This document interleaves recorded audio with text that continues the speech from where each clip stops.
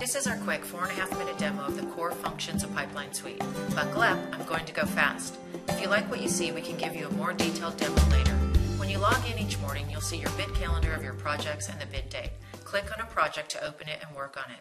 Navigation is easy to understand. Within a project, you have your addenda, online plan room, and project contacts. In project options, you'll see the functions you'll need in the order that you would use them. Select bidders, view send invitation, manage bidders lists, etc. To the right of that is contacts, where you can manage your subcontractors.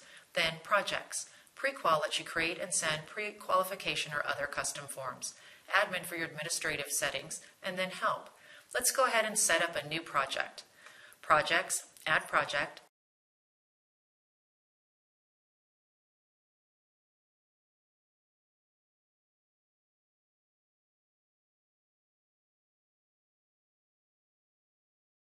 Select a bid date.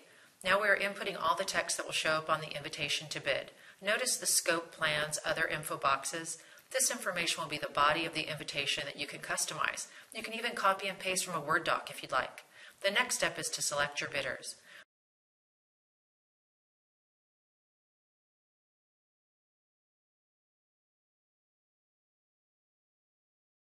You can select by zip code radius or filter by whatever custom groups you want to use. For example, I'll highlight three area groups. Notice I filtered out the subs I don't want, and now I simply select the trades I need.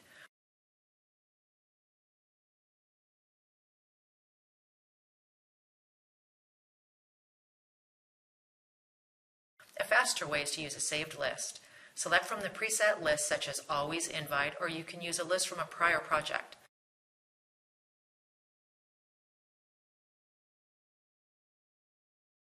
Another way to select companies is individually. Click Division and Trade, and then the stars next to the subs you want to add or remove.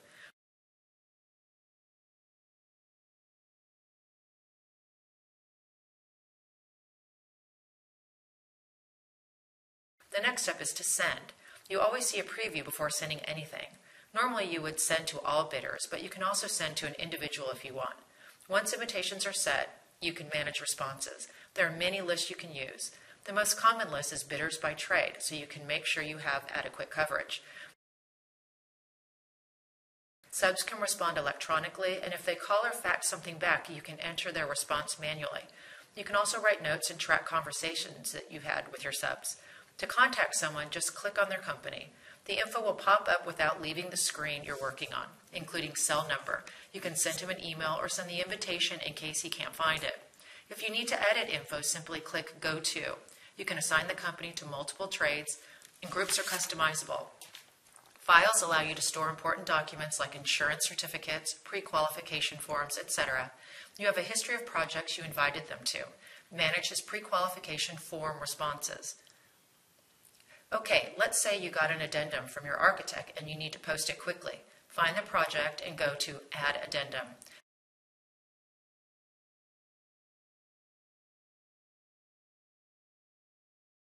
Title it and add a description if you want.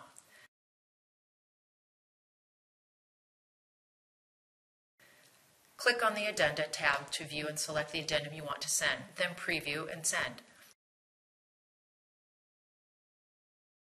Lots of ways to send, but the most popular way is to send to your yes and unconfirmed.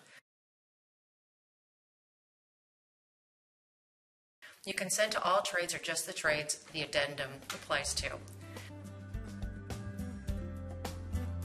That's the quick version. We hope you got a taste of how fast and easy Pipeline Suite is to use.